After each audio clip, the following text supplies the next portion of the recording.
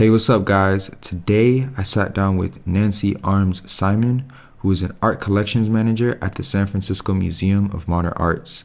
And we had such a cool conversation. Just to give you guys some background, I took Muni to SF MoMA and it was pouring raining and I got absolutely drenched. The situation was not looking good. But luckily, I was able to make it and I was so glad I did because we had such a beautiful conversation that I'm really excited to share. Um, and yeah, if there's any feedback you guys would like to share with me in the comments, I'd love to hear what you guys have to say. And without further ado, here's Atlas 017, Nancy Arms Simon. Give I some more of your meditation,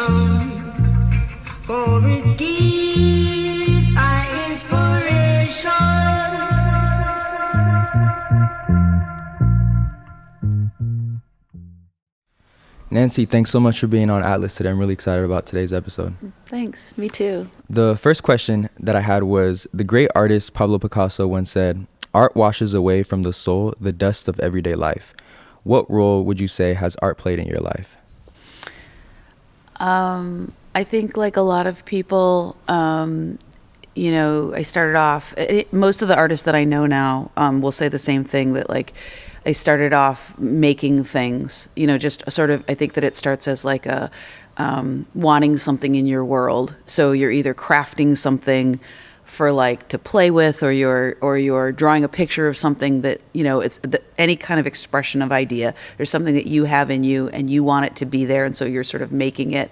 And then i think what happens is there's sort of like a crossover where um where you start you you shift into like defining and qualifying and quantifying your artwork. And that's sort of like I've often thought about like well when is the, you know when is the point that you become an artist or that you like that you cross over into that defin- defining yourself as an artist? And um, I think that's actually where a lot of people stop making art is when they start to compare themselves to other people or thinking that if they don't look, you know, if their work doesn't look like one of the masters, that somehow they're not, you know, that they shouldn't be doing it and that's some sort of waste of time or something.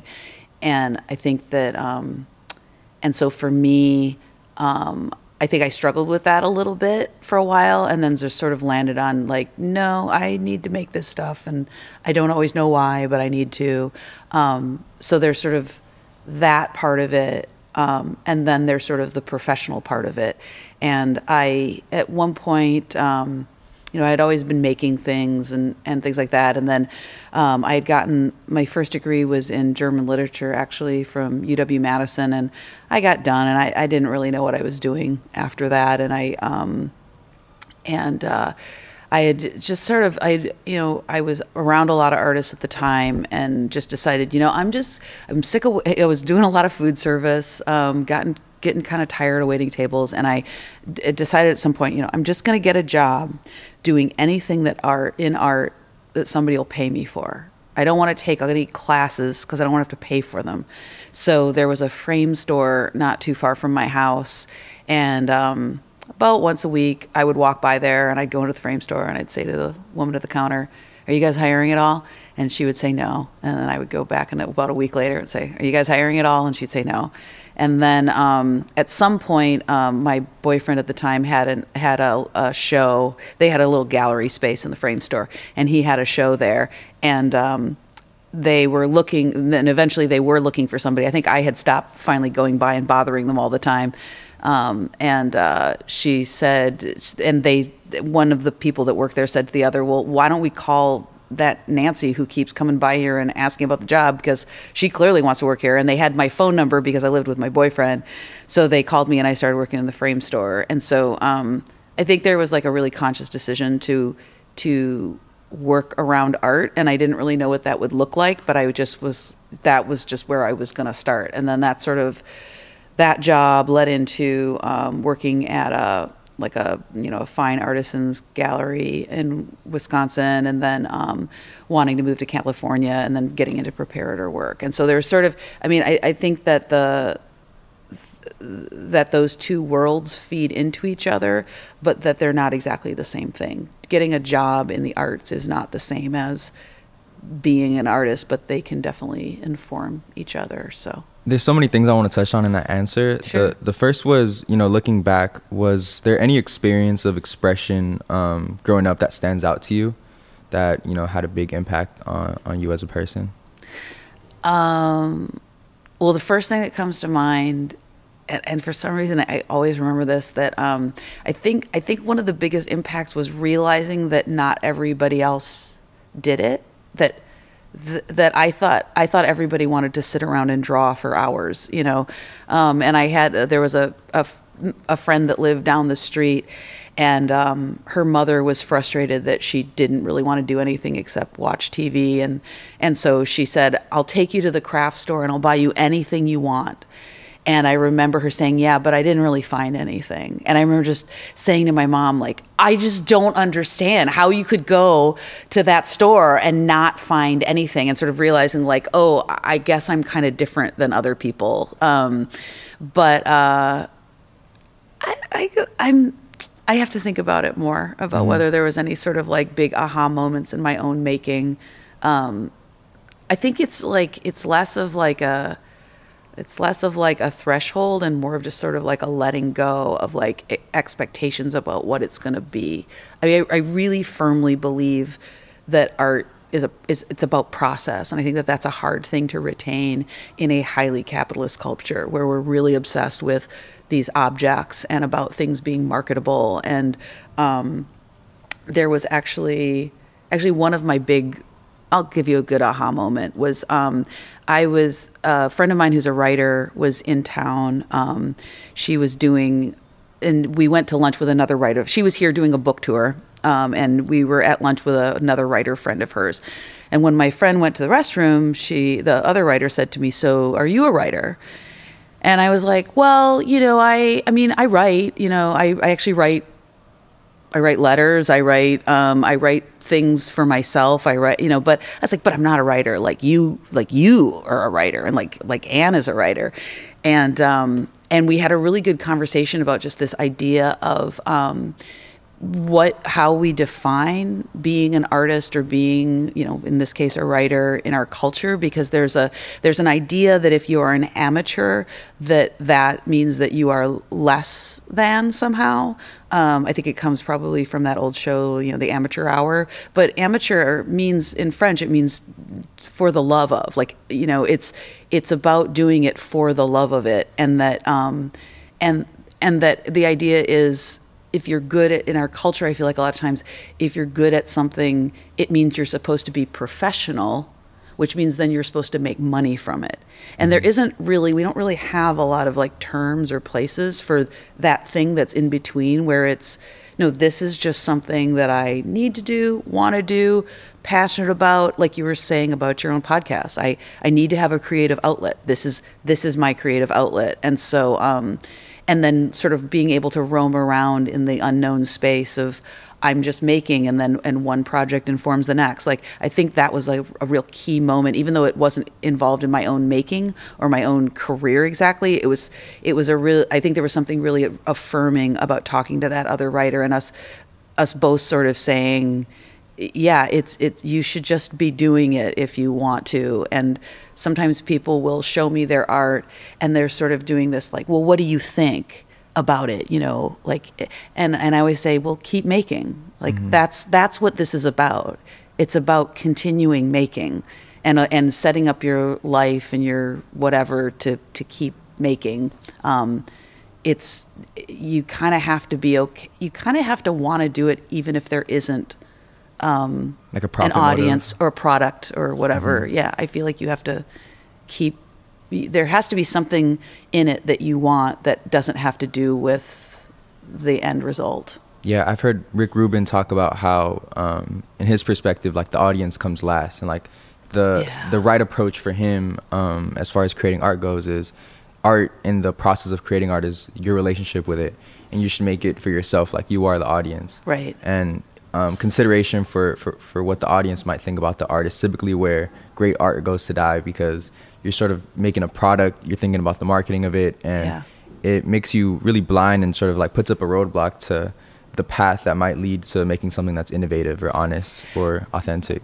okay, so first of all, I love Rick Rubin, absolutely love him, and and I and I totally agree that there is a um, that there's uh, that if you're starting with the audience, you're probably trying to create something that's um, a duplicate of something that's already there, and that that is not where it can come from. That's not where the art world doesn't even know what it wants next because it doesn't exist yet.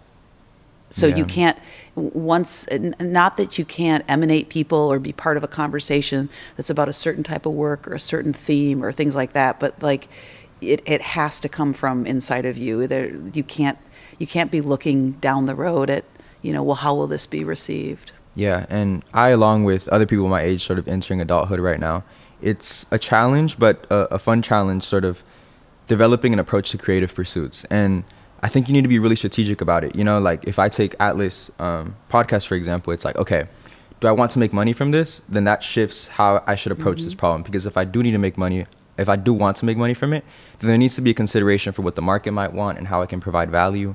Or if I want it to just be a personal project, then you're sort of like left to your own devices. You can do whatever um, feels right to you without consideration for how the product or art you're creating might play out in the market.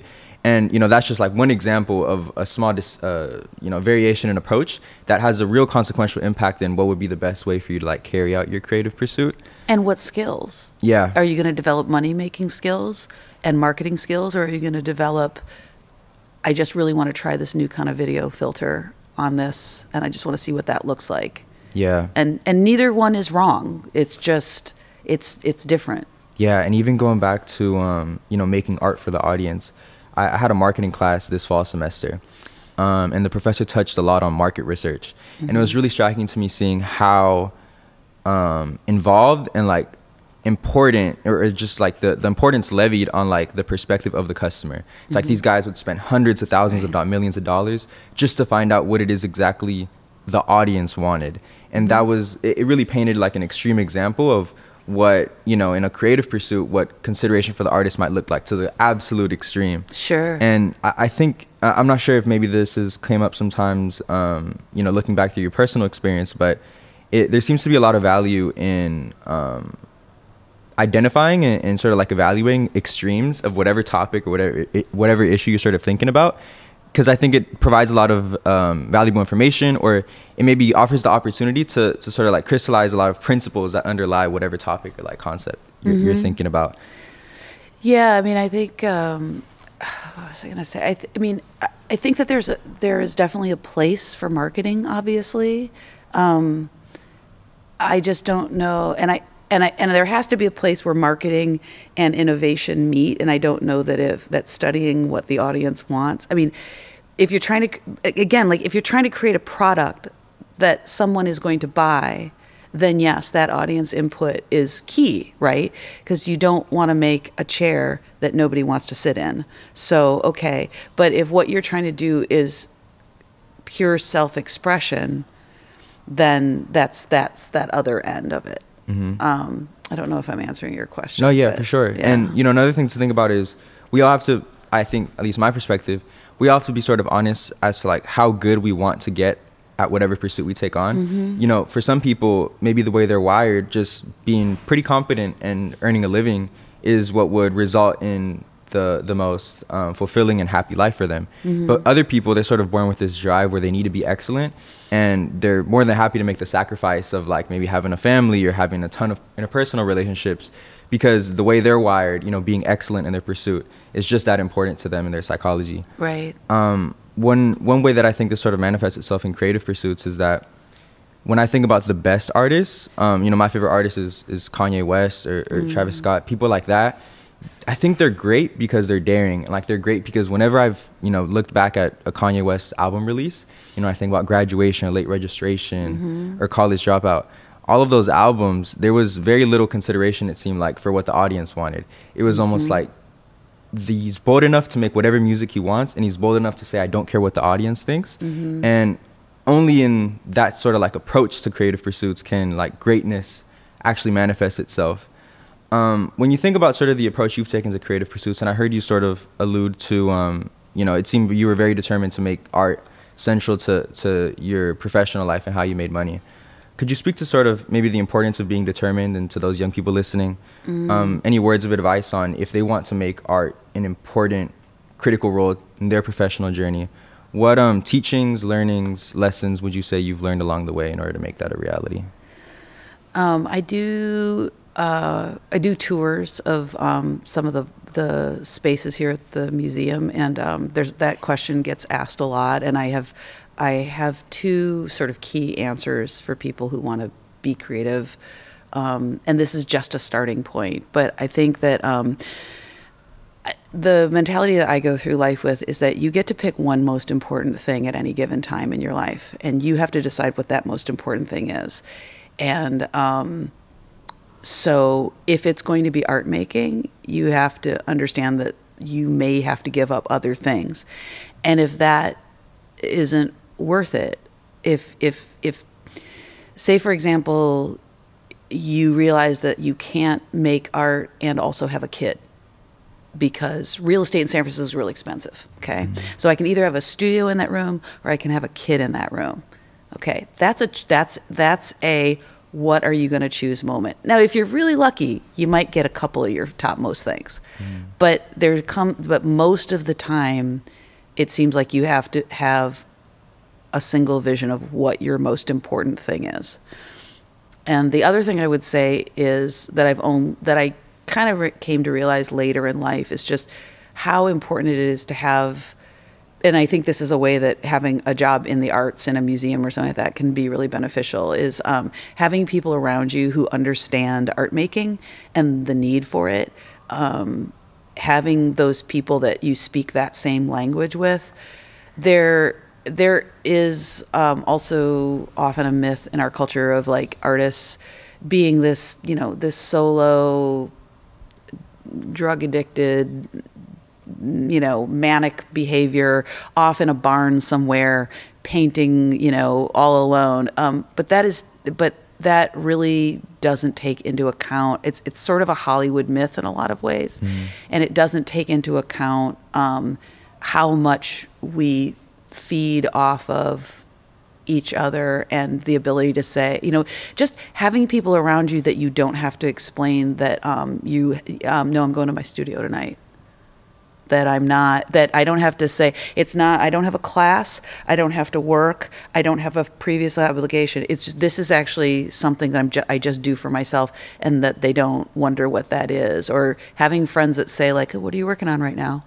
Like that feels really good to just and and I think that there can be a lot of um, things that get germinated just in talking to other people about your work and what you're doing. And there's always sort of that like little bit of a problem solving thing that you're working on and you're you know to be able to talk through that can be really helpful. So i think having some kind of community of people around you however you make it whether it's your you know colleagues or you know you have like a certain art movement and you know you think about like the mission school artists like they all had each other.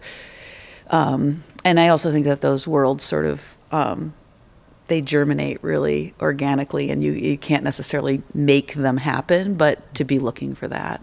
Yeah, I, I haven't had a lot of um, friendships or relationships with people that um, work in creative spaces, mm-hmm. and I'm curious, what do you think those relationships with fellow artists and you know conversations that I'd imagine you'd have about the importance of art and the impact art can have on, on, on communities? What do you think those relationships have taught you about the importance of art just on a societal level? Um, you know, I, am not sure if you've heard of, I think it's like Plato. It's something to do with Plato. It was in my philosophy class. Mm-hmm. Um, and it was, uh, we were learning sort of just like an exercise in society building and how like Greek philosophers thought uh, what would be the best, most optimal way to build a society and how sort of like conservatism and conservative individuals or risk averse individuals sort of congregate in the middle. But you know, even though that's important because risk aversion is important in some situations, mm-hmm. in the borders and in the fringes were the artists, and those are the people that explored and came in with innovative ideas. Mm-hmm. And there's sort of this idea of like what a cohesive society looks like is sort of like a balance between the two. Mm, yeah. What do you think, you know, speaking with people on those fringes of art, what do you think that's taught you about the role art plays in society? From talking to those people on the fringes, what role does art have in our society. Um, I mean, if you talk, you know, if you talk to the really far out ones, they tend to. Um, I think that it shows you, like that they they live in a more in a place without boundaries. You know that like. It, like it ama- I mean, I, I think of myself as a pretty creative thinker, and yet when I talk to people who are sort of living in the art space, there it's like they there are no boundaries to the to the possibilities. Um, one of the I went uh, actually this summer to go see um, Frank Lloyd Wright's uh, Taliesin in Wisconsin. He had two Taliesins. One was in Wisconsin. One was I think in Arizona. It was in the desert.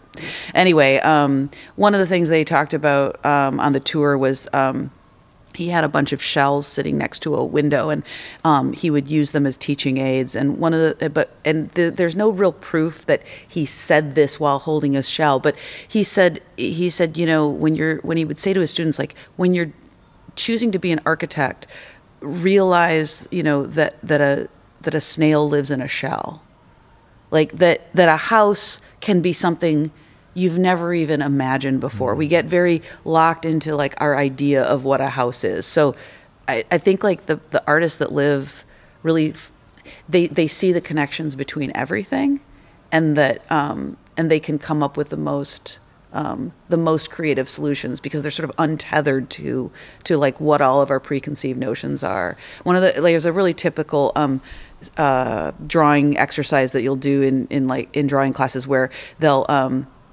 they'll do a still life, but they'll flip everything upside down because your concept of what something looks like, um, you're trying to break that. You're trying to just break what you're looking at into planes of color, planes of shadow and light, and things like that. And so you're trying, like you're trying to turn your brain so that it's not looking at a chair; it's looking at just a shape. And so, like I mean, that's like a that's like a tiny starting place for how artists think about the world. It's like, and the, and, um, yeah, and the more that they live in it, you know, I, I worked on the um, Sol LeWitt retrospective that was here um, in 2000, and one of the, and uh, so I was one of the people drawing, doing wall drawings here, and um, so it was five weeks.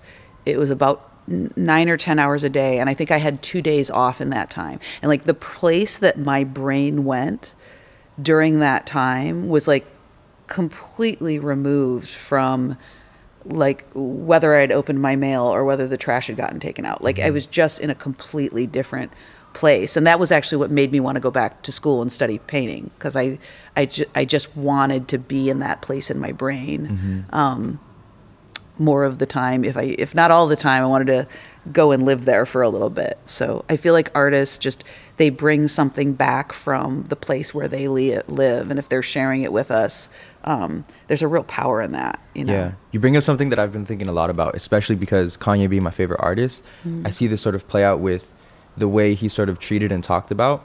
I think I put a lot of value in divergent thinking. I feel like mm-hmm. divergent thinking is what leads to the creation of an iPhone or the creation of SpaceX and you know the excitement that that gives to young people. You know, thinking about you know they might be able to go to Mars in the future, maybe their kids or grandkids, right? And when I think about an individual like Kanye, right, I think when artists, the value they give is divergent thinking, and there needs to be compassion for a person that explores ideas whom some of we might have a lot of admiration for, and some we might have a lot of distaste for, because part of the risk you take in considering and evaluating and exploring ideas whom people might regard as dangerous or useless or lacking in sympathy or ideas that just aren't touched. There's value in that because there's innovative solutions that can be brought from that. There's insights where you can derive from that. But you also run the risk of maybe adopting certain beliefs or having certain perspectives momentarily that um, may have a negative impact on the world. Is that something you sort of thought of with artists? Because I really think there's like a lack of compassion for people that are brave enough to sort of um, take on a creative pursuit where they explore ideas that others are too maybe cowardly isn't the most compassionate word I could use, but um, that other people don't take on because they want to be safe, they want to maintain their status, they're scared of how others might perceive them. And to the select few individuals, I think in society, you know, being artists who have the bravery to explore a lot of those ideas, I think we don't do a great job as a society in expressing compassion for those individuals and sort of fostering that um, impetus to like participate in divergent thinking because I do think there aren't many people that have the bravery to participate in that thinking, Mm-hmm. and I think there's a lot of value that we derive from that we may not recognize on our day to day. Yeah, I mean, um, I, I I think it's an I think it's a it's a great it's a great topic and it's one that I think about a lot, which is just the way that um, we we have a hard time in our culture accepting that people contain multitudes and that people are complicated and that um, every time that we are shocked that um, someone who is famous has done something that we don't like I'm I'm always a little baffled. I'm like, no one ever said that they didn't have a- dark side or something, or that like you know, just because you're an amazing filmmaker doesn't mean you're not gonna also maybe sleep with your daughter, which is frowned upon in our culture. But like that. And, and then the way that we then say, okay, well, now we have to write them off as a bad, so we write them off as a bad person, and then somehow and then somehow we refuse to um, we we cut off we cut off their art at the same time. And i think i mean there's a there's a great book that just came out that i haven't completely read but um, it's called monsters i think. And um, it's about this topic exactly. It's about it's about like um, the idea of like where i- where is the line with people? And i think I think that if we could all be a little bit more um, broad-minded in the way that we think about what we what our expectations of people who become famous are, I think that everybody has to make that decision for themselves. If you never want to listen to a Kanye West song again because of something that he said, you can totally do that. You can you don't ever have to listen to Kanye West again. Um, and and I don't know that it's always I don't know that artists even always feel like they're being brave. I think they don't I think that it's their truth. In the moment or whatever, it's their truth and it's what they're feeling and and the bravery comes in maybe saying it out loud, but I don't even know if those people ever even feel brave when they're saying it. I bet they feel scared. And then they say it anyway. And um and I wish there was a lot more a lot more room for um spectrum thinking and non-binary thinking and just um, allowing things to be multiple things at the same time. Um, one of the things that i that also informs like my attitudes about art is just that um, i'm you know i come from a mixed background and art for me is a real it's um, they talk about you know the third space that you have to create for yourself when you're a mixed person and that like um, art is a third space for me because it's a place where I get to exist solely as myself. Um, and I think there just needs to be more, there needs to be more room where we let people be all of the things that they are at the same time. Um, so, and yeah, um, I definitely. yeah, I, I, I just like I was thinking about this scene in that, and there's that Kanye movie where he, Yeah. um, where he go, he walks into one of the record producer the studios, and he he like he's like I'm gonna I'm gonna rap for you, and he takes out his his mouth guard, he mm-hmm. like takes out his retainer, he's like Oh, I gotta take out my retainer, and he sets it on the table, and I was just like whoa, Yeah. this guy isn't even paying attention to the rules. Like mm-hmm. there, he didn't even think to put it in his pocket. He's not thinking about that's really gross that you set that on the secretary. He's just he's there in the moment and he's doing his thing and he can't be stopped. And so, like. And like it was like it wa- I mean, and also it was just sort of so sweet and almost like kind of childlike in that moment. Um, you know, I have problems with the things that he said too, but um, that you know i still love it when my put, husband puts on good morning in the morning for me you know? Like it's um, i don't think that negates the creativity that he's had. Um, and i and i think you know and i and also just like speaking about i just I- see him as a person who's who's has some pain too and um and uh hurt people hurt people sometimes Yeah, I mean, you know, my personal perspective on Kanye is, you know, I, I do think he says things that are insensitive or Mm-hmm. um, may come across as like mean or childish sometimes. But I think if we all just sort of like take a step back and evaluate, you know, all the people that we sort of cast away as bad people, it's like at the end of the day, you know the worst thing Kanye did was like said something that was hurtful. Mm-hmm. You know, but there's people that do a lot crazier things in this world. Right. So to have compassion for a person who already you know in their profession is uh, taking it upon themselves to participate in divergent thinking, and I think who has provided a lot of insights throughout his career. Mm-hmm. To, to have a little bit compassion for him, and you know, even going back to, to the, the scene you mentioned with Pharrell, no, it's not only crazy that he took off his mouth guard and put it on there and didn't have consideration for it. It's also crazy that we have footage of it because he wasn't even like popular at the time. So like, not only was he like um, energetic enough to like put his mouthpiece on, he was like energetic enough to have a guy following him around his camera recording the documentary. Right. It was yeah. It was crazy. It was really crazy. Yeah. And I mean, yeah. I I don't want the whole conversation to be about Kanye, but he's a complicated guy and um and you know, and he and also he's the one who has to face Adidas shoes and he has to face his record producer. I mean, it's not it's um and that's to me that's um there's some punishment in that that he's receiving. It is it has made him unmarketable. Okay, so I don't have to buy his records if I don't like what he says. Nobody has to buy his records if they don't like what he says. Um, and he has to, that's that's his own. Um, you know, it's that's between him and and you know whether he can make a living. Yeah. Like, so again, coming back to the thing we had at the beginning of like, well, Kanye, was it more important for you to market your art, your art, or was it more important for you to make your art?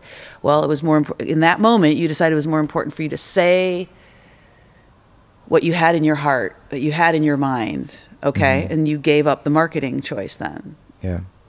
Yeah, I think our conversation about the importance of divergent thinking brings up um, something really important in the way that I sort of evaluate art and have also observed in the way people talk about people in the past or just people in the present.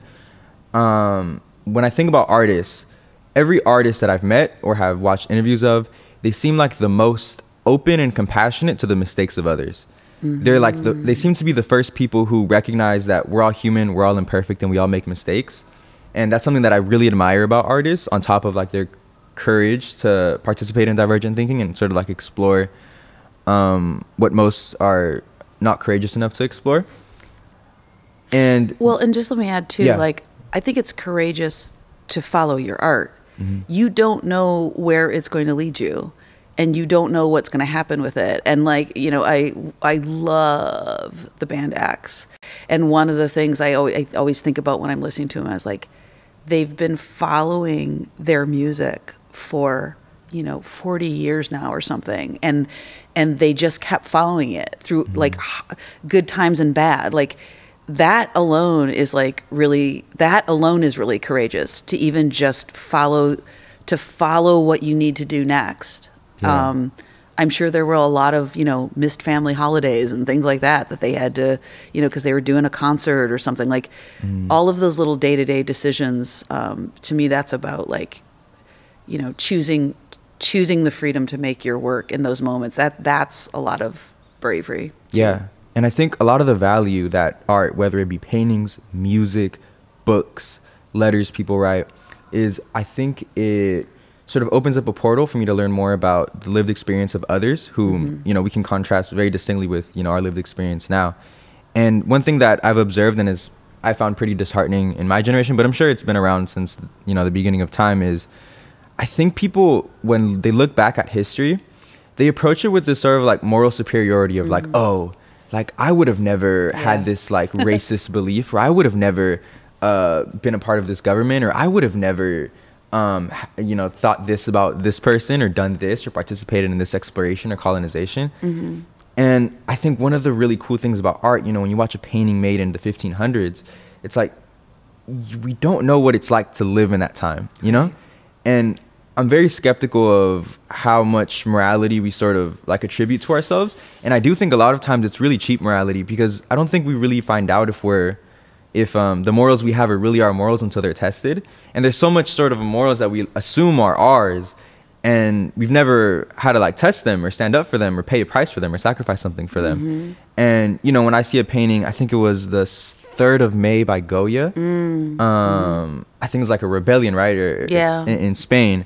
When I see something like that, it's like, wow, that's like the human experience, right? Like this is something that happened over and over again, just like violence. Right. And it'd be very easy for me now, you know, growing up in East Bay and sure, you know, I'm not like affluent background, but pretty comfortable. I have heating, Mm-hmm. I had food, I you know, I went to school, I got an education. It it'd be seems very easy for me to sort of like look at that and be like, oh, I'd never participate in violence like that. Mm-hmm. But I think art serves as like a great reminder for me of um, my humanity and my imperfection. Mm-hmm. Um, when you evaluate art, is that something you sort of take into consideration? Maybe something that you've, um, some value that you've derived in your time managing Hmm, about art? subject matter or about yeah, maybe about the lessons art has taught you about your own humanity Mm-hmm. and the human experience and human nature.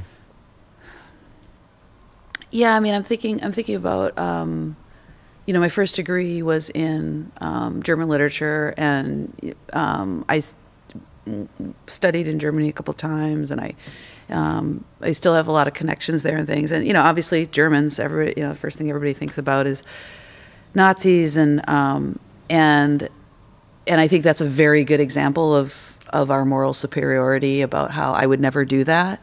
Um, and I think like you know if you look at like the like the drawings of Kathy Kollwitz or something like that and you look at what it means to be a mother who is watching her child starve mm-hmm. um, I don't I like to think I would do the right thing I but I also know that if you if I was put in a situation where it was you know god forbid feeding my child or turning in my neighbor mm-hmm. I want to believe I do the right thing. I really do. Mm-hmm. I, I don't know though, and I also think that there's a really good, um, yeah. And you look at yeah, just looking at those drawings and thinking about that. But I, but I think there's also I, I read a really great book recently where, um, where a mother asked her daughter, a little kid, uh, "Do you think we would do the right thing in this situation?" I don't remember which atrocity of man's inhumanity to man that they were talking about, but she said, "She said no, we wouldn't." And she said, "Why don't you think we do the right thing?" And she said, "Because we're not doing the right thing right now. There are atrocities right now going on all the time, and um, and I often think about like." you know what am i doing what am i doing about any of it and i and i often feel like i um you know i yeah that i would you know i'd like to think that i'm doing the right thing but you know and sometimes i'll think like what if like what would it take you know to it, for everybody to have a warm place to sleep. Like what if i found out that if i just if we all just gave up one couch in our house every single person would have a warm place to live? Like would i do that? Would i be, would i give up the couch in my living room? I don't know. I like to think i would but i don't know. I don't you know it's just it's so easy. It's so easy to judge and so hard to do the right thing. And there is all kinds of um inhumanities going on right now and and here i am sitting in my fancy museum in the quiet out of the rain gonna go home to my house and sleep in a warm bed and probably eat a dinner you know Mm-hmm. Yeah. so yeah, I've heard um, conversations with people that may have more conservative personalities and Mm-hmm. heard them express skepticism of sort of the value of art and why the Mm-hmm. government should spend money on art or just different conversations we'll hear Mm-hmm. um, in passing. And I think if there was one thing that I think art provides society is I think it's a window to compassion because I think that's the one thing art has given me. It's just. Yeah. I love art, I love music, I love paintings. And if I were to sort of just think from first principles, like what impact has consuming and supporting art given me, I think it's compassion do through you, like do you feel like it's from feeling emotion just by absorbing art Mm-hmm. or is there a message in art that you've been experiencing that has given you like Hmm. where is that coming from I think, I think I've had experiences, both of those types of experiences. I mean, Kanye is like my favorite artist. I mean, I don't want to Yeah. make the conversation all about Kanye, but every single time I think about art, it just goes back to him because he has such a big, big impact on me growing up. And I think, you know, like I was a kid and, you know, you sort of go through this cycle where you're like naive and then you're cynical and then you arrive at optimism, hopefully, right? And, you know, when you're a kid and you're naive and I love Kanye and then all of a sudden, um, around like 2016, 2017 time was when um, people started having very negative attitudes about Kanye. And this is my favorite artist, right?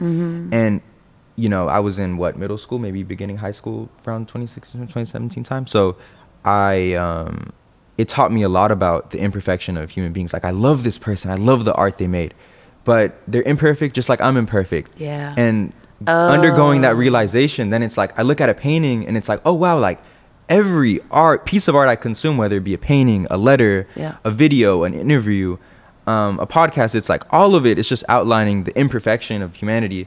And you know, there's a lot of pain, suffering, evil, uh um, you know, a lot of bad things in that imperfection, but I think there's also the opportunity to do good because if everything was perfect, there wouldn't be an opportunity to be good. It's almost like morality is impossible Yeah. in in um in a perfect world. And well, and you can always spot those people that are still nestled in cynicism Mm-hmm. because when you talk, if you talk about somebody, I remember when, um, so I'm a massive Prince fan, like Yeah. massive, and when he and when he died, you know, there's a couple of people that were like, well, I, you know, I I heard he was a Jehovah's Witness and that like he didn't, you know, he refused to celebrate his birthday or something, you know, and I was like, yes, and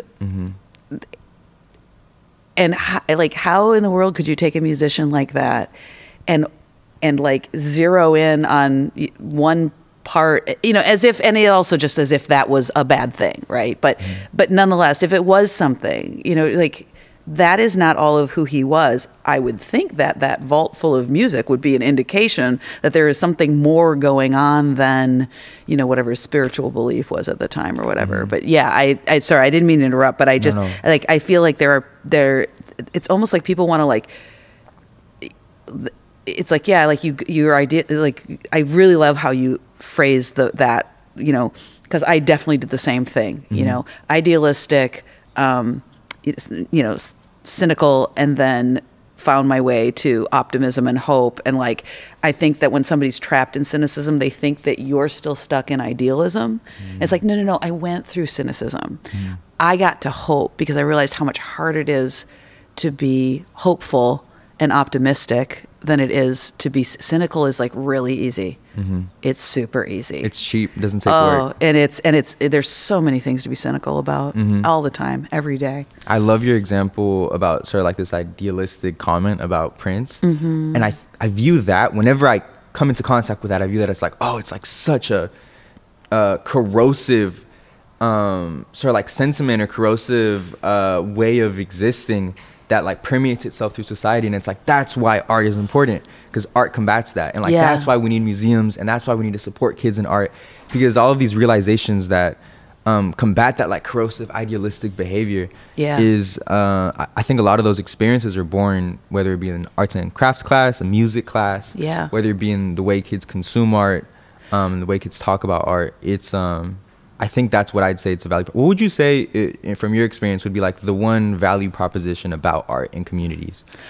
Well, I think the the the key one to me, if you're if you're gonna really get into this idea that like art has to serve something, which I sort of you know already don't like fully follow, too, yeah. but let's go there. Um, I I feel like um, you know any kind of art is an expression of an idea and it's it's talking in a different language right? So it's giving it gives people another language to express themselves in besides the one or two that we use every day. And so to me you're allowing people's voices to come forward. You're giving them tools for their voices to come forward and for their ideas to come forward. Um, and it might be somebody who might never get you know proper english grammar down and that's fine but because they've got this other language and it could be you know it could be music it could be a podcast it could be whatever that you know you're you're allowing people to communicate and um and every you know and people people want to feel seen they want to they want to feel like you know I think most people want to be heard. They want to be seen. They want to know that um, that their ideas matter and that they're not just shouting into a void. And so you're giving people tools to do that. Not to mention just like another tool to like learn history by and things like that. Um, You know that if we want people to understand our histories and not make mistakes again, and that you know this is yet another tool. I mean, to me, looking at art looking at art history books is just like it's like it's all there everything and it's not only in like the picture that you see of goya's um, you know the one of, of you know shooting the rebellers the Mm-hmm. people rebelling but like also there are there are less if you go deeper there's lessons about the type of paint that he was using and what was available to people and what's in the soil and what you know um, you know how big you know how big you could stretch a canvas in that day as opposed to how big you can stretch a canvas now. You know one of the like you know one of the reasons that um, you look at old mirrors and they have like these really ornate edges with lots of little pieces of mirror it's because you could only make mirrors so big.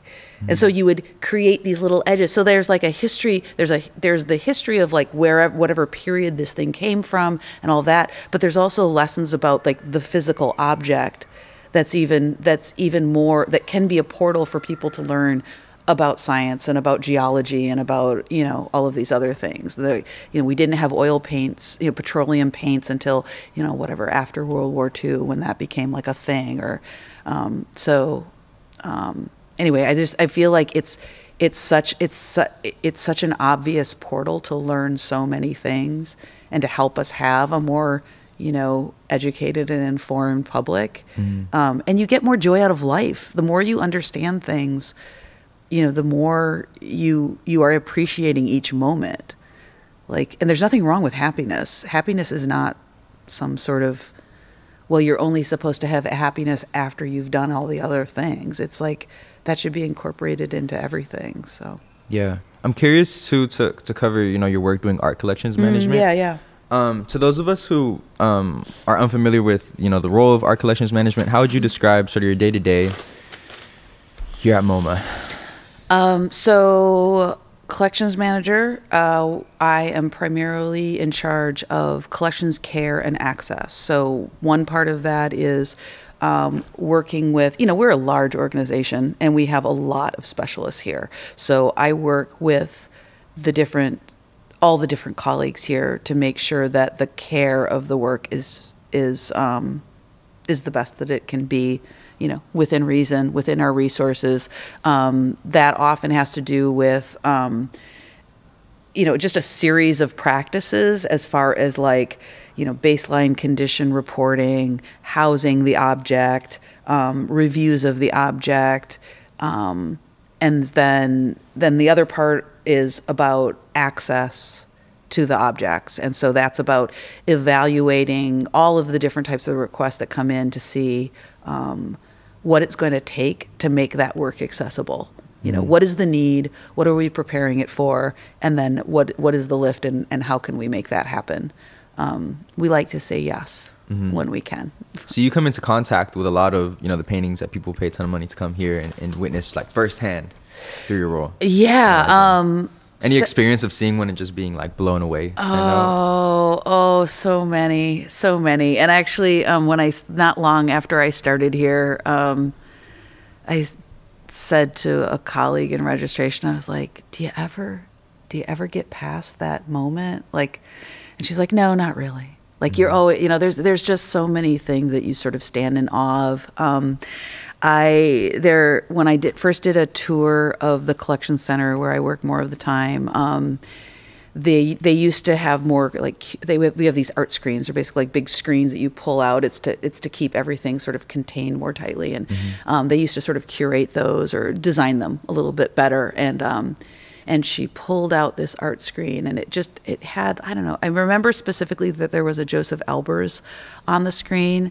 but it was just I mean, I, I, I, felt my knees buckle. Like I felt myself just, just sort of, ah, you know, this, um, because, I, and I might be getting trippy, but like I really feel like um, a lot of artwork, you know, it, it has like this this energy that comes off of it, and and I think I notice it most with older paintings because it's like it's like how can that thing still be giving me a vibe? Like like that artist is like dead and gone and still you know? Um and so anyway yeah um i've definitely had many many moments like that. Um and i think what's really fun too is like when you open something and um and you look at it and you're sort of you're sort of like huh, i don't mm, I don't know. I don't. And then and then you come around to it. It's kind of almost even better. Mm-hmm. Um, I really love looking at the backs of paintings too, which is one of the big bonuses of our jobs is that we get to.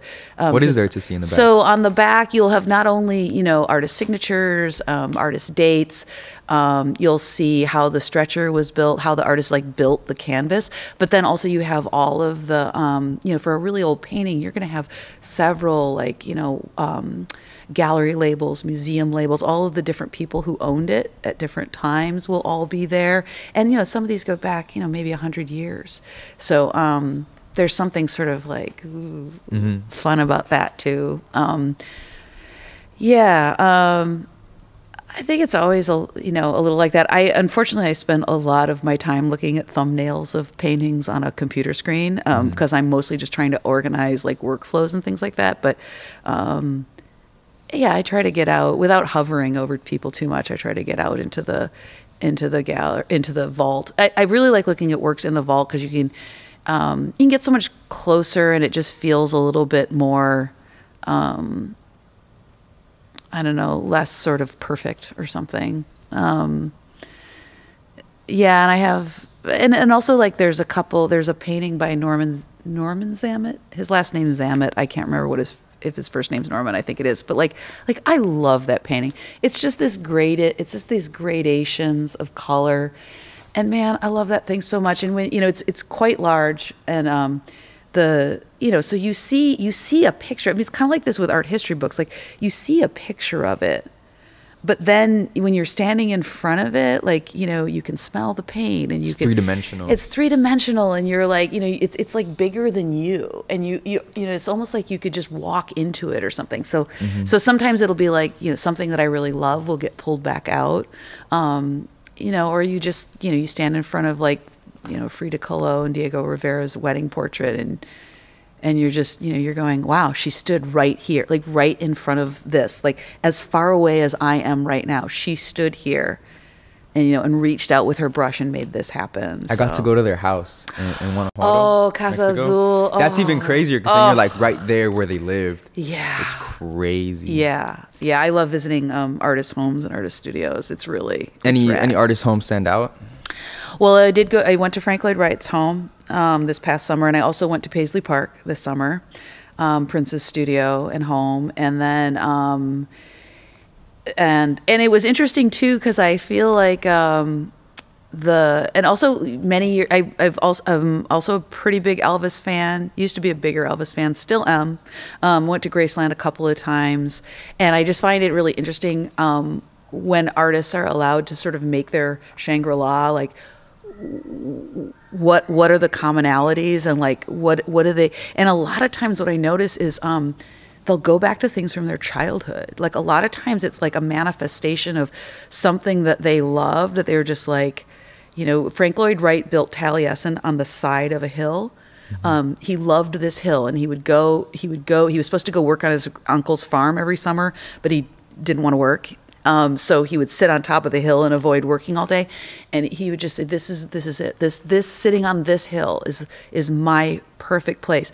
And when he built his house, he didn't want to ruin the hill. He said, "If you put a house on top of a hill, it's not a hill anymore." So he built it out of like respect for this hill that he loved so much as a kid, you know, um, and you know, and like and Graceland, like Elvis loved, he loved Christmas. He loved having friends over. He loved he loved those times when like you because he grew up really poor. He loved feeling like there was plenty, and he loved sharing that. And he loved you know, um, so. I, I just think it's interesting how people sort of go back to. I think that there's, you know, that thing that we've talked about about going into what your own truth is or your own creativity. Like, I think a lot of that we develop in childhood and um, and then we kind of forget it a lot. But I think it, it, it, everything tends to be like a manifestation of something that really hit you when you were little and you kind of never lost. Um, I have another story about that, but we should keep going.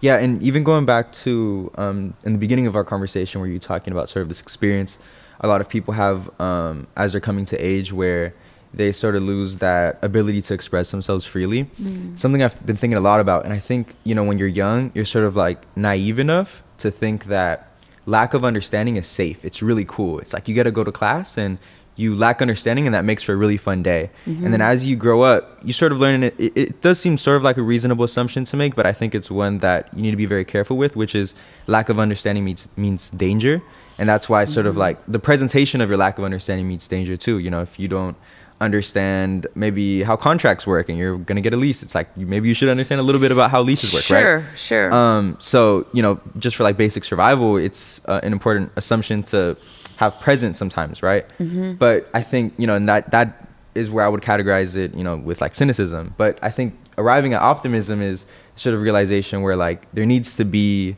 um, moments in life where you're content with lacking in understanding and you're willing to explore that. And I think arriving at that place is where um, a lot of artists are at when they begin their careers and they sort of like chain them, uh, free themselves from the chains of like not being able to express themselves freely. And even going back to your description of um, a lot of these artists artists houses, I think that's sort of maybe what they're getting at is like when I was a kid, I was naive enough to just express myself freely, and I want to like cultivate that feeling I had as a kid Right. by like designing my house, sort of as the environment like resonates what it was like to be a kid at that time. Yeah, absolutely. And like I always wanted a purple room, so I'm going to have a purple room now or something. Yeah. Um, and I think, you know, and, and to be fair, like it's hard to balance those things, you know? And I feel like as we become adults, so much of what we're expected to do feels overwhelming. And there's almost this like, well, well, I have to shed all those other things because I, I got to learn all this stuff for being an, an adult. But like, like allowing yourself time to learn things just and be curious um, and and like and accept and also just being okay with being uncertain and and you know uncertainty and um, not knowing and that things can change and all of that like resting in that place like it takes a lot to get comfortable there you know? I struggle with it. I think most people do. Yeah. and especially when you feel like the world is like moving really fast and you have all these responsibilities and that it and that if you you know i was just talking with a really good friend of mine about how like um, there's often that feeling that if i that if i if i don't keep holding on tight to everything that it's like i'm gonna like it's it's all gonna fall apart. And so you're sort of like rejecting all of these anything that you've either been told or have somehow made up your mind that it's like you know frivolous or disposable or something like that it's really easy to give that stuff up when you're trying to hold it together you know and hold together life. And like this is a difficult place to live. It's really difficult. And so it's easy to just sort of get like no no got to just stick to my schedule got to do my thing got to you know stay on top of everything. And um, there just isn't a lot of time Yeah, I think you see that a lot in like Stoic philosophy, and it is interesting. Like human beings have sort of like this desire to just feel certain about things, and it's just like we just can't feel certain, right? It's like there's so much out of our control, and um, I think it's something I struggle with. You know, just like growing up, it's like uncertainty, and you know, you only want to take on pursuits where success is like probability is pretty high, right? Right. And a lot of Right. those pursuits are like pretty low resolution, maybe just things that don't mean the most to you, given your psychology. Because if they did mean a lot to you, the probability of success may not be that high, right? Right. Um, right. Well, and honestly, like I got into this kind of work because I wanted, because I just needed to have a job. Like, really, I moved here in 1998 and I just wanted to get a job so I could stop worrying about work and make art. I just needed a day job. I just needed a day job. And, you know, I mean, it was uh, 10 years, 15 years of like all of these different things to get to a day job. You know, I mean, it was it, like, it was kind of crazy. Yeah. Like, yeah. So, um, when you're on that anyway, course, that, yeah, you know, that, that can is your best, become, right?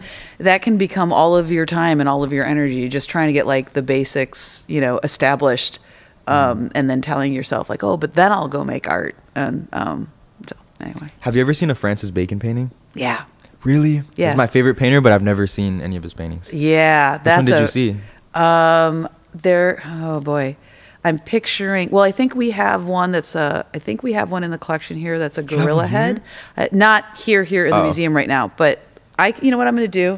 I'm going to write it down and I'll check the database and see which ones we have here.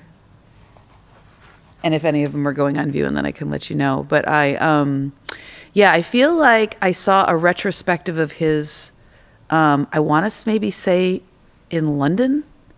I remember seeing like a few different ones of his, and um, there was a there was a three there was a three paneled self portrait maybe, um, and there was a portrait of his lover, and there was a portrait of him, and I can't remember which one was the three panel.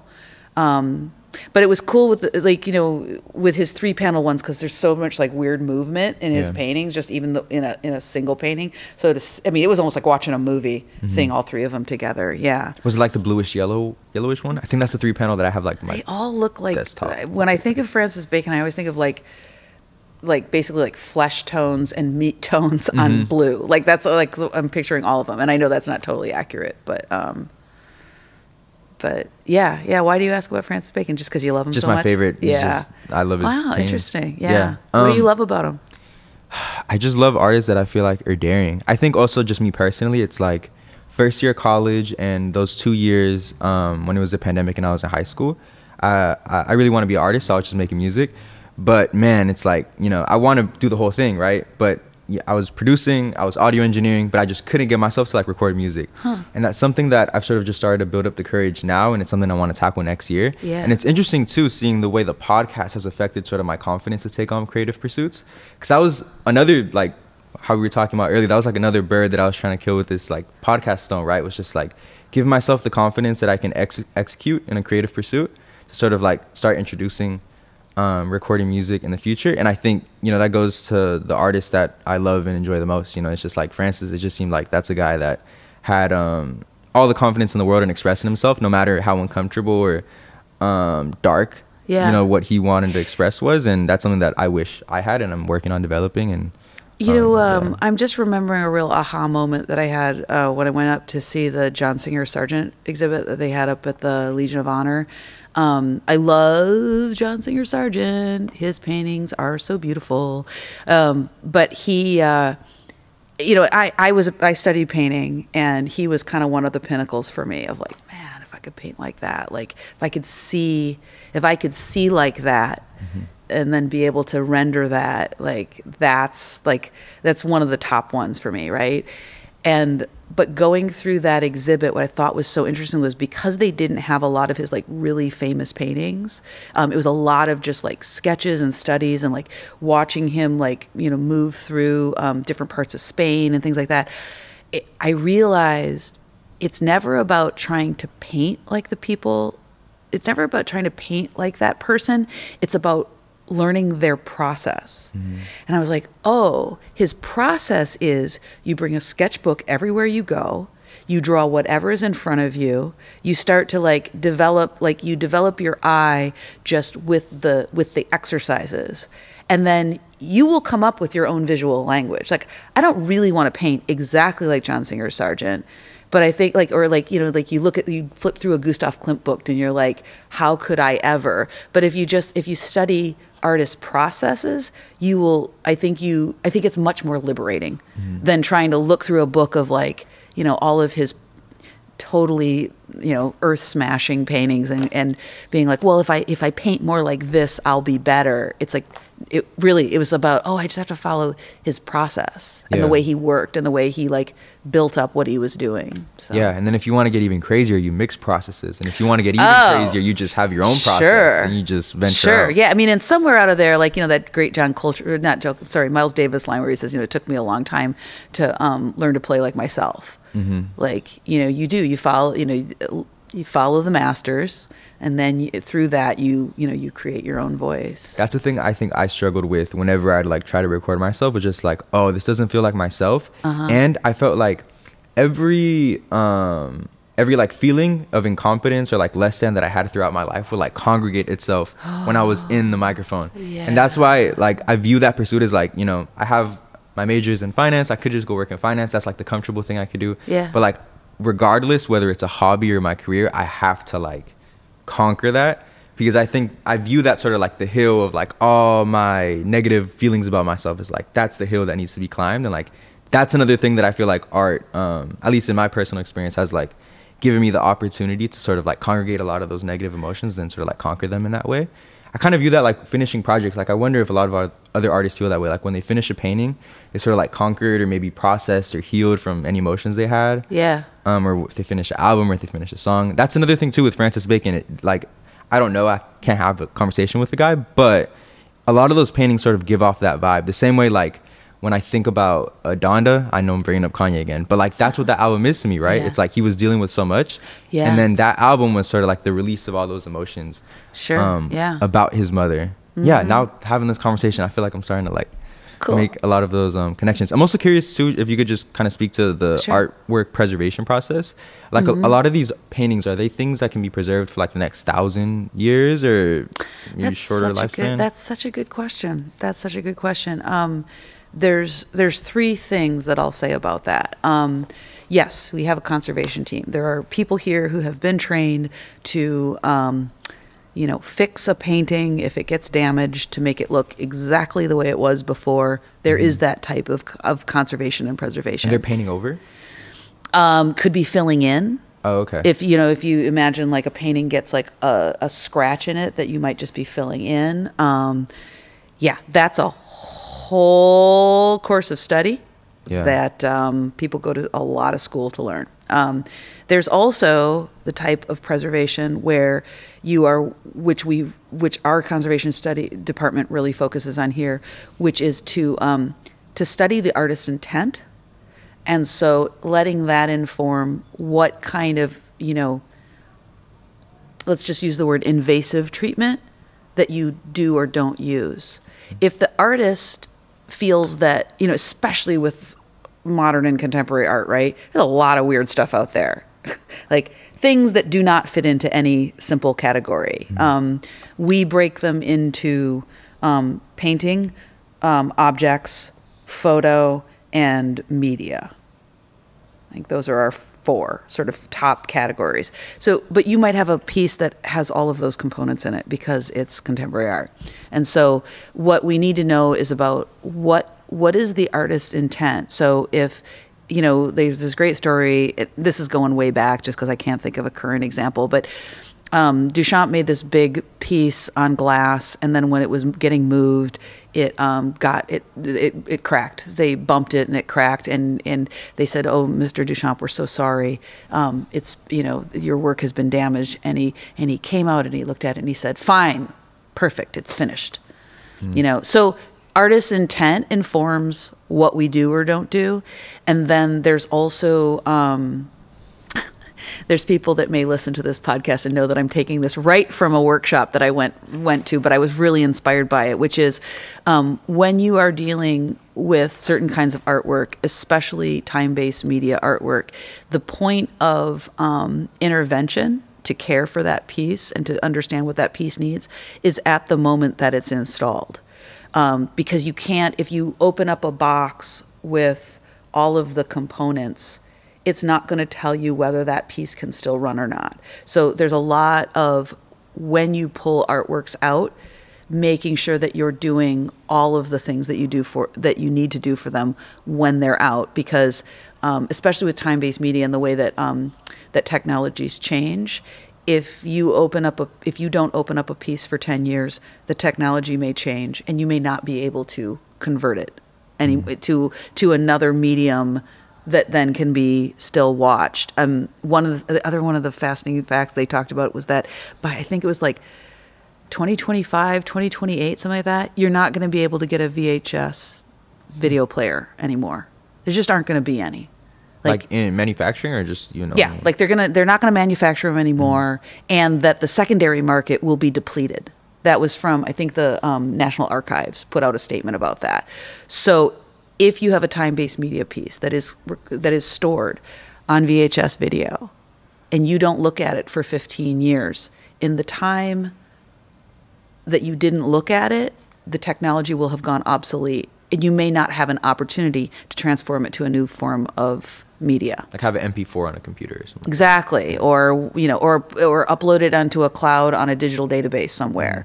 Um, so one of the things they're trying to do now is to make sure that things are stored in multiple places in multiple formats.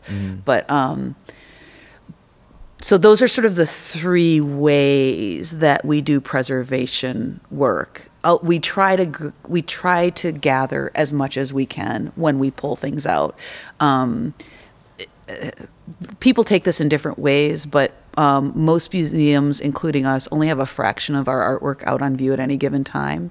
So there are thousands of works that, um, if we had a maybe if we had a staff of 1500 who were only dedicated to you know conservation and treatment and preservation and collections care we would be able to pull out every single work and make sure that it's stored properly and make sure that the type of foam that they used to use back in 1982 hasn't deteriorated or something like that. Like um, so a lot of what stops a lot of what's in the archives from being displayed is just the need for people to do maintenance on them and it can be that um, it can also be um, whether um, you know, a lot of the things that inform. this is, it's good that we're getting to this because I know this was part of your questions about exhibitions too. Is that, mm-hmm. um, you know, what we put on exhibit and what we pull is basically informed by the curators and their courses of study.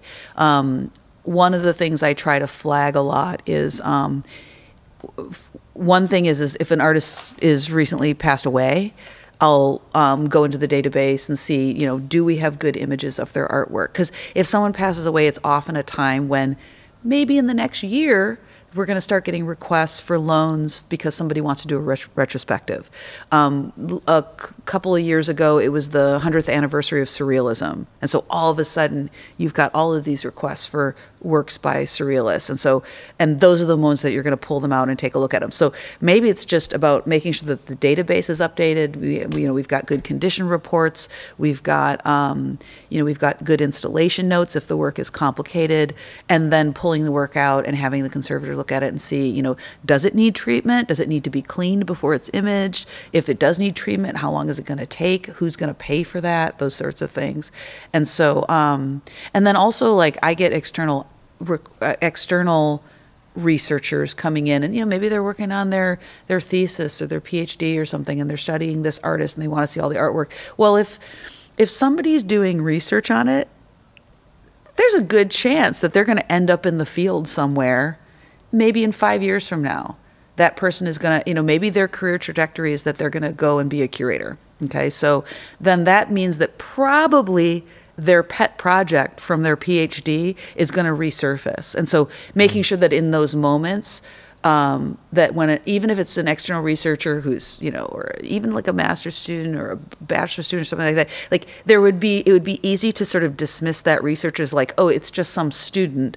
But who knows where that student is going to be and who is going who are going to be the leaders in curatorial research later. So i just always try to take a pause and and make sure that we have this work fully represented in all the ways um, that we should for you know good sort of collections care because um, I think it's going to probably come up later. Somebody's mm-hmm. talking about it for some reason. There was a desire for that, so it's really one of the really cool things um, that I get to experience doing the podcast is you know have an incredibly diverse range of guests and hearing uh, the you and the emphasis on uh, artist intent it reminded me of this musicologist I had on a couple weeks ago and the importance in musicology of artist intent whereas you know like how someone's going to play beethoven there has to be a lot of like assumptions or guesses made as to like how right. certain compositions were played back then uh-huh. and it makes for this like really dynamic and like colorful um thing in like the industry where everyone's sort of guessing and that sort of like offers the opportunity for the person who's playing to sort of like give their take right. or uh, maybe just like instill a little bit of variation uh-huh. um, in, in, the way that's sort of expressed. Is that something that's sort of like really present in the way you know art is preserved, where people have to kind of take guesses as to how the artist would intend to express themselves, and then maybe the way that might obscure or uh, bring new life to, to paintings that are displayed? Yeah, and it's really interesting you asked that question in the context of music because um, because that's sort of in I'm thinking about Sol LeWitt's work and how um, he creates essentially an, a composition piece. Mm-hmm. He creates the, the, the direction of the wall drawing, and then it's up to other people to render it, which is really very similar to a composer writing a piece and then, a you know, um, a, a maestro. Can't say the word. Um, a musical director. Let's just call it that because uh, I can't say the word right now. Um, or like the orchestra interpreting that music, right? And there's not a, a ton of room for with his drawings for interpretation. I mean, they're pretty specific, but ultimately it's going to be a different hand creating it every time. Um, I I think that what we try to do is um, with contemporary artists, getting as much information out of them while they're still here, especially at the moment of um, when we uh, acquire the piece, because um, an artist gets very probably gets. I'm, I'm assuming that an artist would get pretty excited when they find out that a museum is going to take their piece. So they're most interested in talking about that piece at that moment of acquisition, right? Um, and so, you know, you, we've we've all seen. I'm sure you've seen this in music where like artists move on, right? And so they don't necessarily want to come back and rethink the theory that they were working under when they created that piece. Andre so 3000. Andre 3000, right. He's like, I don't know, whatever that was, you know, or like, you know, I mean, I, am sure that Bob Dylan deals with this all the time. Like, people want to talk to him about Subterranean Homesick Blues, and he's like, uh, haven't thought about that album in decades, right? Mm-hmm. So, wanting to capture the moment of acquisition, wanting to capture the moment um, when the artist is, you know, if we're going to acquire a piece in a body of work, wanting to make sure that we're capturing as much from the artist as we can next step is the artist studio if the artist isn't around anymore artist studio might have information you know you've got you've got several artists who you know maintain the collection and the archives of someone who's passed away um, and i mean I, my guess is is that you know when you look at something like um, you know, we don't have a lot of old work here because we're a modern and contemporary museum. But you know, if you went and looked at something that was probably from like late 1800s, the 1900s, a lot of paintings were made exactly the same way back then. There wasn't a lot of divergence in mm-hmm. in how people created paintings. So if you know how to take care of one Vermeer, you probably know how to take care of all the Vermeers. And there's and there's a lot of scholarly information around that. There's a lot of research you can do. Um, I think the farther we've gotten to the point we're at now, the more there's a more of a pressing need to get the get the word straight from the artist's mouth um, while they're still thinking about it. Yeah. Did and I answer the question? For sure. Okay. Yeah. And you know, uh, I think maybe something that helps that cause is you know there's so much access to like social media and interviews so mm-hmm. there's so much more information to sort of uh, gauge it's so interesting it seems i don't know if like anthropological is the right word the mm-hmm. right way to use the word but it does yeah. seem very anthropological like yeah the, sort of like exploration of who the artist is and the consideration um you know that that it, that's taken when you're preserving their art. I'm curious if you could maybe walk us through the process of planning and executing exhibits. Um, yeah, so um, I haven't I haven't worked directly with exhibits in a in a while. Um, I mean, I do because I you know I I handle access to the collection, so that's sort of where my main focus is.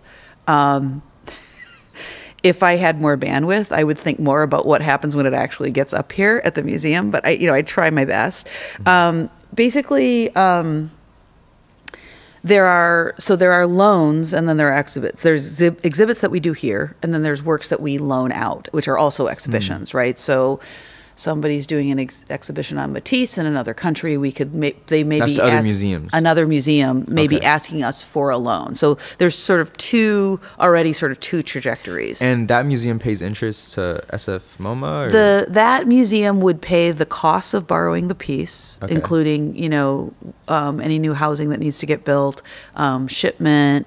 Uh, things like that, and then they also pay like all things considered, a pretty nominal um, uh, administrative fee to handle the the paperwork of it. Um, and so those so and so those are going on in both directions, right? We've got an exhibit here, and we want to borrow somebody's stuff, and so we're sending out requests, and then other people are planning exhibits, and they're asking for things from us. Um, also, if a curator has a sparkle in their eye about something they might want to do, they may send out messages to other curators they know and say, I'm thinking about this concept for an exhibit, you know, um, what do you think? What do you have in your collection? I mean, there are ways that you can research those things, but put and then but and also sort of sending out the message of like, I've got this concept for an exhibit. You may want to have it as a venue. You may want to be a venue for that exhibit, but if nothing else, like please don't conceive of the same idea because I'm working on it right now. And then you're going to be in competition for resources because mm-hmm. everybody's going to want the Andy Warhol, Liza Minnelli piece or something like that. Like you don't want to be you know fighting each other for the same things and there's also a collegial relationship there too where um, if we loan something to another institution and then they ask us for something, we might say, well, they helped us out so much with that exhibit that we were working on. Okay, we're going to do what we can to make sure that this loan happens. So, um, exhibitions and loans. Um, always the more time that you have, the better. Um, exhibition calendar is planned out, you know, maybe about 10 years or five years in advance, something like that, like on paper. But there could be conceptions for things that are happening even beyond that. Um, loans tend to be, we tend to hear about them um, later in the game because somebody has been conceiving of this. They've put together a list of what they'd like to get, and that's when they start sending out letters and seeing what they can get for their exhibit. So um, we have a minimum of, I think it's maybe 50 I think 15 months. We'd like to know 15 months in advance if you want to see a piece. Um, often it's shorter than that. Sometimes it's longer than that. Um, so a curator will begin working on their exhibit five years in advance. Yeah, wow. and curators. I mean, but curators, like artists, live mm-hmm. in a place where they are they are immersed in a topic, and they are always thinking about what that topic has to say mm-hmm. right so they're always researching they're always studying new works they're you know so so if you think about something like a group show if you have a, a concept of like something that's going on right now in the world like there's an exhibit up at the museum right now called what matters and and and to me, I, I haven't read the curatorial statement, but to me, that exhibit is about, well, what really matters right now? right? So that's the concept. And then the then the curators, you know, they're going to artist studios, they're going to art fairs, they're going to other museums, they're visiting other exhibits, and they're they're putting together this concept, and they're sort of, it's like they're solving a problem of like, well, what would that look like then? If I created an exhibit that had this as a central theme, or if it's a single artist and they're going to do some kind of exhibit about a single artist, they'll there will be like a certain point of view that they're going to speak to about that artist. And it and it generally generally the idea is that they're going to say that there's um, not exactly new research, but that they're going to say something that people haven't really thought about before in regards to that artist. So they're they're working kind of all the time on everything all at once. Um, mm. And then, yeah, and then it, you know, typically it's getting on paper, starts to get on paper and starts to get mapped out let's say two to five years in advance. I mean, and then once you're into two years ahead of time, that's when you need to start knowing what it's going to actually look like and what the checklist is actually going to be and who we're borrowing it from. And because, you know, we're also dealing with things like, you know, museum budgets and, and fiscal years and things like that. Like, if you think you're going to ship a piece that's eight tons from Japan next year, like we need to work that into um, the budget. We need to work that into our storage planning. So it's like you kind of like like I said, like the more notice that you give, the better. So yeah, by by one to two years. It, it pretty much needs to be mapped out, and we need to be talking about where it's going to go, what kind of fabrication needs to be done for the gallery itself. You know, are we going to have to build out a false ceiling? Are we going to need to? Are things going to be inset in the walls? Um, there's just such a number. I mean, with a, with a place this size and the types of exhibits we do, there's just so many people and so many, um, yeah, just so many ripples to any decision that it really has to be um, planned out. So, is there like a schedule for like the exhibits we can expect SF would have for the next three, four, five years? yeah, oh, definitely oh, wow. the next three.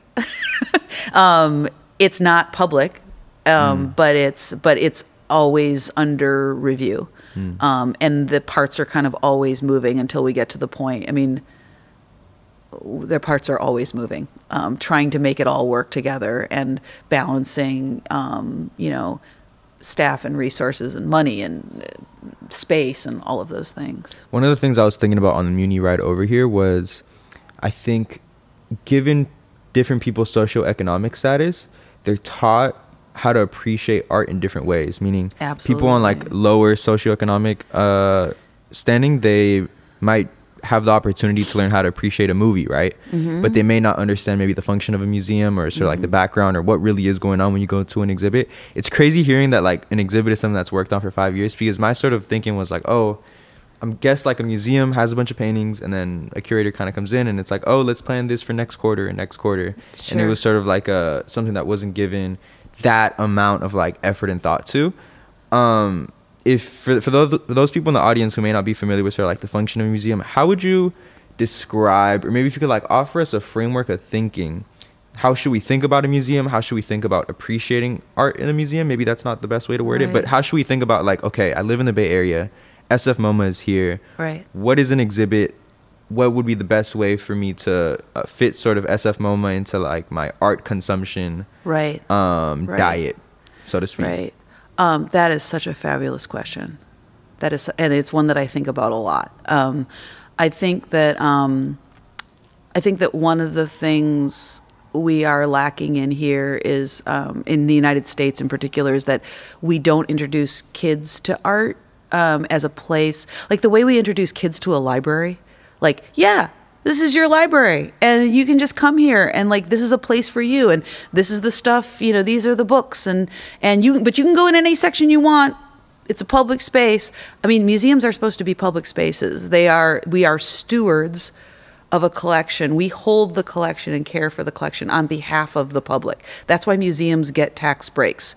That's why we are a nonprofit organization because we are we are doing a public service. And so um, so are the paintings like assets of the public sort of think about that They oh, that's a great question. I I don't I don't. Mm, I would have to ask legal team what that what exactly the relationship is. But museums are they are stewards of a collection on behalf of the public, and I'm not sure if I can explain it any better than that. Um, but I think that we treat museums like a place that's like I mean, for one thing, it's expensive. So it's not um, it's not as cheap as going to. Although movies are pretty expensive now too, but you know what I'm saying. It's still more expensive than a movie, um, and um, I think that we don't introduce people to it soon enough. And I think that there's also a big divide where people think that there's they are supposed to know something before they come in here. And I think it's it's it's there's there's a there's sort of an idea, and I think that both museum professionals and the public feed into this in their own way that like oh but if you don't know what that's painting is about like it's not a like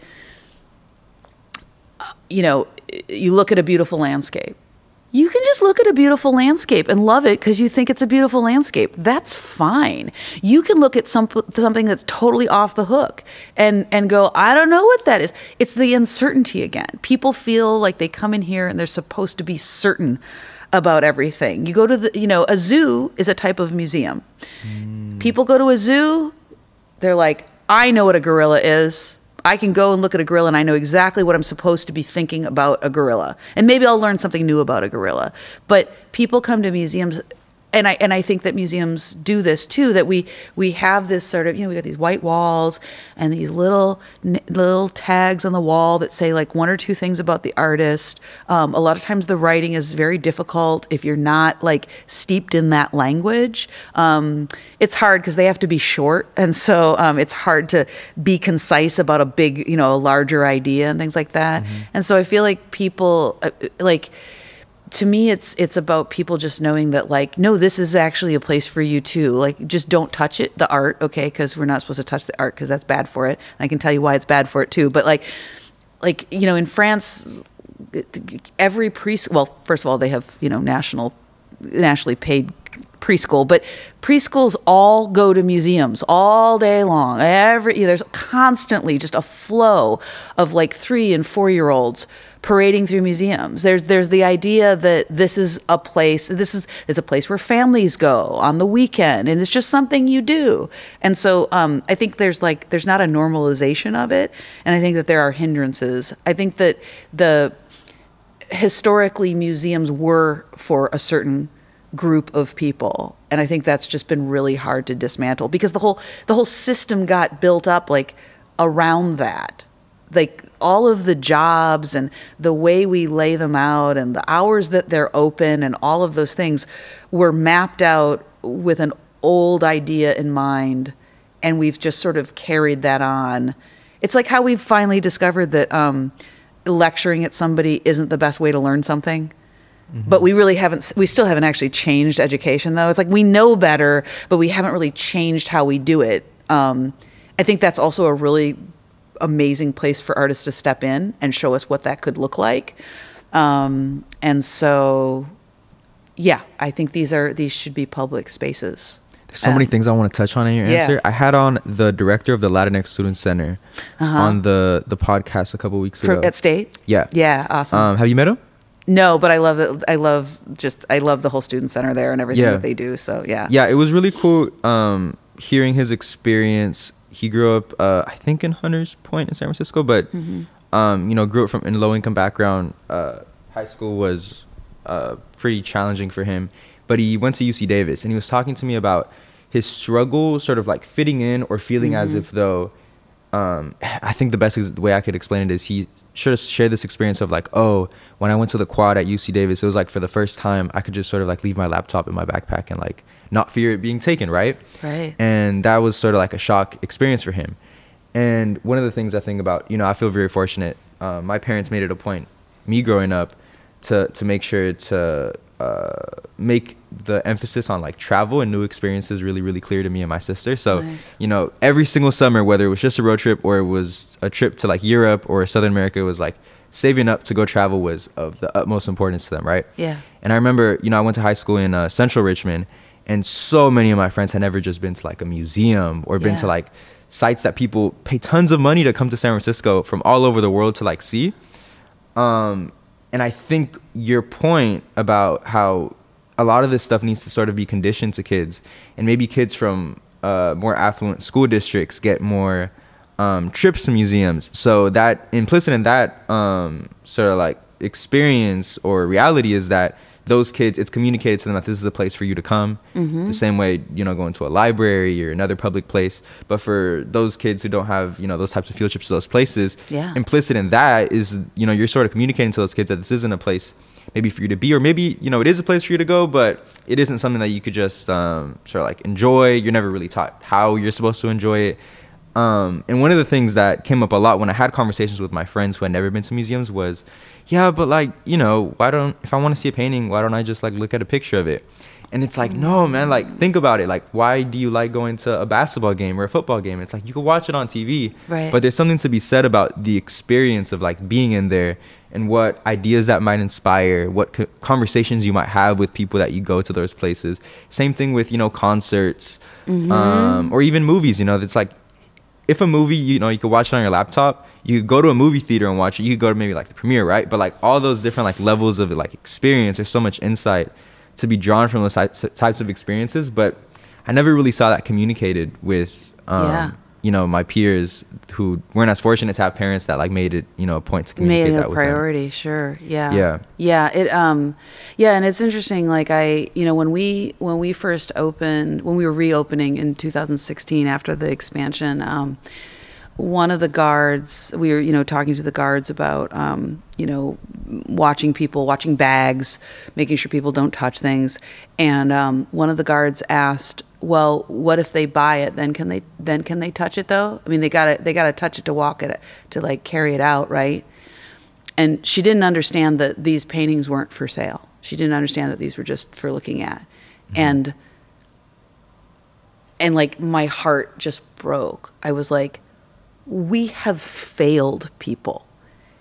If we have people, uh, grown adults, who don't know that this is not a, a retail space, we have done something like we have really missed something here. Like we are not doing our jobs. And mm-hmm. like, you know, and I think about it a lot too, because like I live, I live in the Bayview. It's, you know, right off of Third Street. Third Street comes right to, our address is on Third Street. I'm like, what is happening between where I live and here like it's just two totally different words. Why, why is why are those people that are right at the other end of the T line not coming here? Like what what is the block? And I think it is about. I think it's primarily about how we condition people and their expectations about what they're entitled to or not. Um, and then also just like, you know, when people say, "Well, I could just look at a painting and book," I'm like, it's different.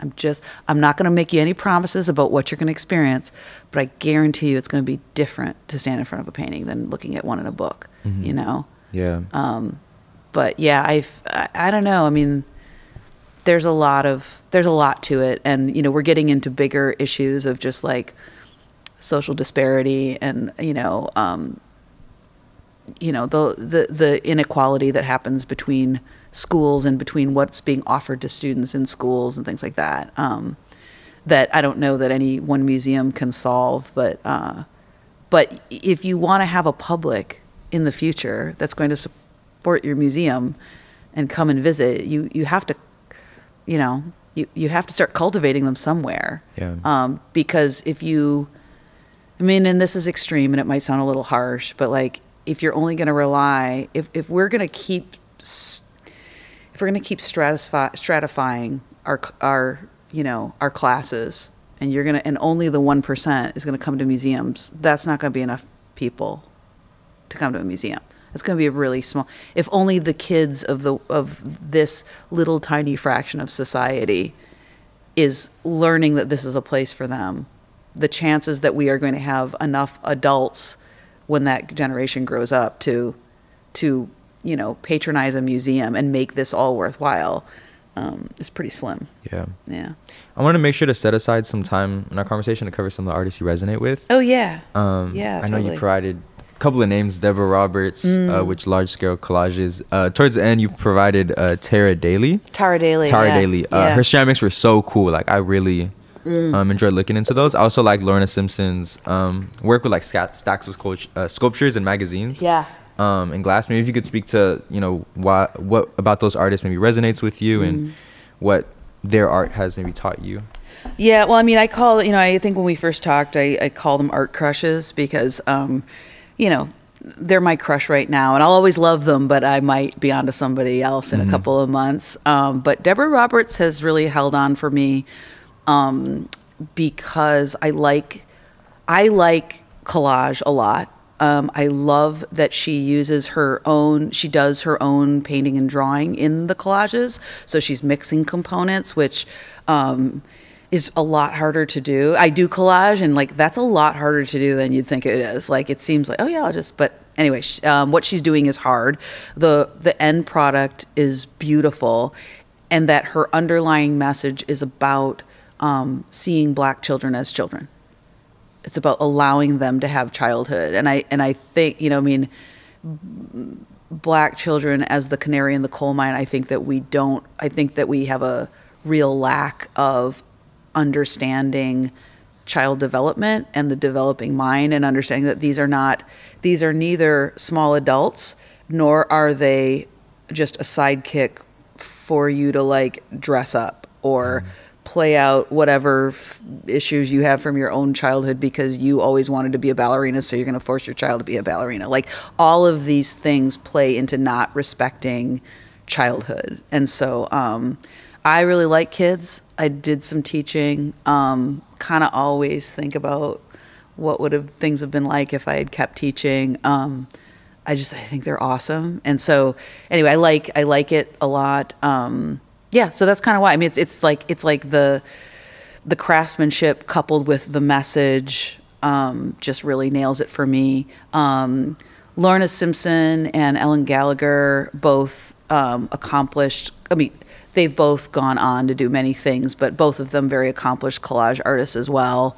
Um, and then, and I think I just uh, and then Tara Daly, I you know she's unlike a lot of so she does she works in a few different things. She does um, painting and she also does ceramics, and she does a few different types of ceramics, and then everything sort of mixes and mingles together. Um, but I just really um, with you know and what I was saying before about how like it's okay to just come into a museum and not know what it's supposed to mean, and just like I don't know, man. I just look at Tara stuff and I like it. I like how it makes me feel when I look at it. Um, there are there's in some of her more figurative uh, ceramic sculptures. There's um, there's some mythologies and like things where she's drawing on old mythological stories to tie into um, some of the problems we've got with the world today. And she would obviously be much more accomplished at talking about that than I am. But um, but I every I love what she's saying, and I think maybe that's the similarity with Deborah Roberts. I love the execution.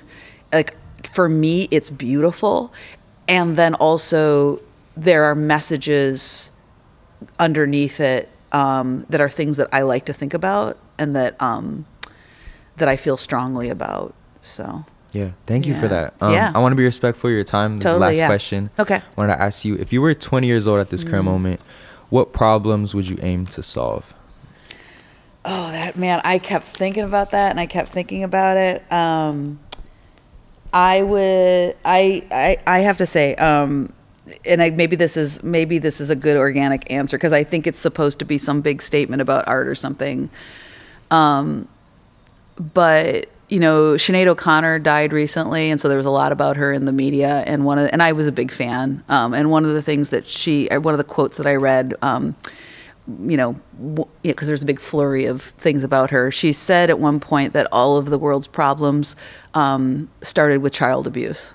And she was like, we could solve everything if we would just stop messing with kids and mess, messing them up at a really young age. And I mean, and kind of like what we've been talking about, like if we would cultivate creativity, if we would cultivate the understanding that art is for you, if we would, you know, um, if we would understand that the child is developing their mind and that like, like that we all have, we all have responsibilities as adults to um, I feel, and this is a personal opinion. I know some people are like, ah, you decide to have a kid, it's your problem.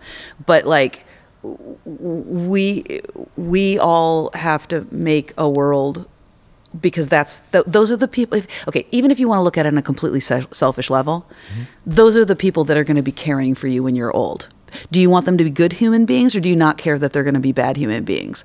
Like, and then on a bigger scale, like that's that's literally the future. Every cliche about the children being the future, like that's the truth. They will be running the world. You give them 15, 20 years that's what the world's going to look like. Mm-hmm. So I would like to shape that in a way that is positive and makes them feel good about being here and encourages them to, you know, I'm one of the things I always write on cards when friends have babies is like, I can't wait to see what you do with the world. I'm here to help. Let me know what I can do. You know. Um, I, I feel like that's a key and and then that informs sort of everything right it informs education it informs um, public transportation it informs everything like thinking about the future and you know that's a that's a very concrete example of what the future is going to look like is every kid so um, that's kind of one of my big big things Yeah, one idea that I've sort of toyed with was I wonder if like in the future there could be a public health program that gives every kid an operating manual for like themselves. And one of the things that I've th- sort of thought about was like if we see this field recorder, when I bought it, it came with an operating manual, right? Right. And like we're all born with a certain type of psychology. Some of us are more agreeable, some of us are more disagreeable, and sort of like all the different builds that human beings can come in come with their advantages and disadvantages. Right. But none of that is ever really communicated with kids. And I think, you know, if I had to guess, the only people probably around in the world that have at least a basic understanding of what their operating manual might look like are people that have had, you know, like psychological services or had that Yeah. um, available to them. And I've been able to go to therapy and have tests done. Um, and I wonder, like, you know, when we talk about fostering um, a better upbringing for a lot of young people, like, if that would be something that's like feasible in the future, you know? Yeah, reliable mental health uh, would really go a long way. I had a friend who said that we should all be issued therapists at age 11, and I was like, yeah, that really that would really help. I mean, I think I think one of the big challenges we're dealing with right now is just um, coming to an agreement of what is the best thing. Um, there seems to be a lot of arguments about what that is right now. Yeah. Um, so um, it's tough, but I love your idea. I love your idea. And maybe if you just offer it, you know, I mean, one of the things I think was great was that I found out when my son turned 13, um, he manages his own um, in like the, the his portal on the insurance company. He manages that after 13. I was like, I feel like I've got a pretty good relationship with my son. I feel like we're pretty honest about things. But if you were a 13 year old in a situation where you had parents that were not accepting of who you are or you needed help that your parents were refusing to help you get, the fact that you start to have that kind of autonomy at 13, that you could go ask a medical professional a question about your body or whatever you need and get an actual scientific answer, and that, you know, that that's a private conversation between you to some degree at age 13 but that that's a private conversation or that you could request that. Like just maybe you just hand it to them and let them know it's there you know? Mm-hmm. this is the phone number you call if you need some help like yeah yeah Well, Nancy, thank you so much for being on Absolutely. Atlas today. I This really was so enjoyed lovely. our conversation. Thank you. thank you so much it was such a pleasure to get to know you better Great. Likewise. yeah totally thanks a lot